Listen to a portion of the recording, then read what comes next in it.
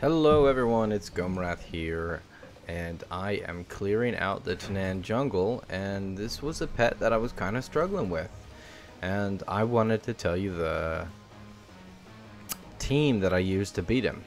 Now what I did was I threw a Kunlai Runt in my first slot, and he's running Frost Shock, Deep Freeze, and Takedown.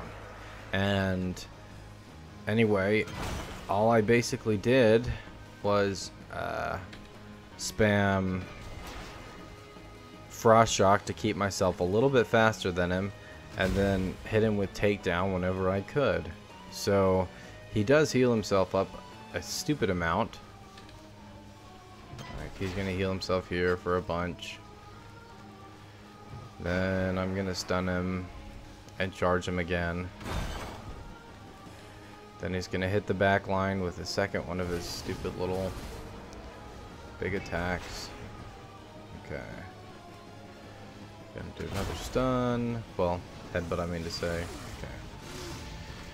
Hit him with one more. Now do a frost shot, or not frost shock, a deep freeze, takedown,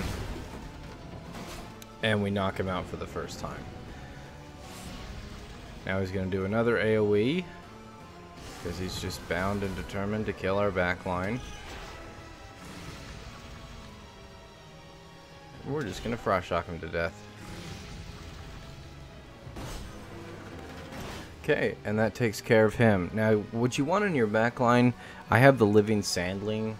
Um, that was because of a video that I saw with Hazel. And anyway, I would actually suggest instead of having him in your backline, oh wow, nice YOLO blood in the water hit there. Okay. Um, just in your backline, have two pets that are strong. I would recommend Anubisath Idol and Chrominius just because they can last forever. But that's how you beat the Fel, I think is this Felsworn machine. Anyway, he was just giving me trouble where I was trying my normal strategy with the Zandalari Ankle Biter and it was not working. So yeah, now I got these guys playing cleanup in the back line.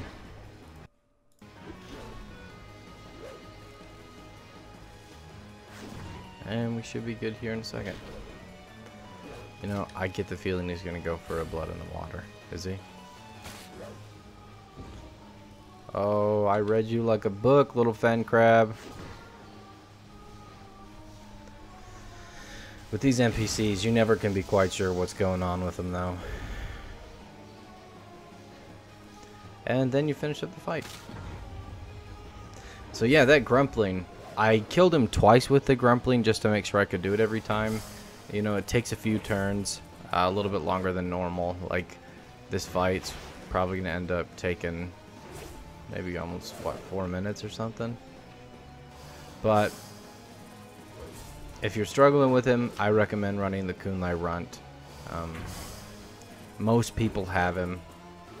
That's why I suggested it. Oh, don't kill me. Dang it. Okay, whatever. Alright, Sandling, go in there and kick his butt. Boom!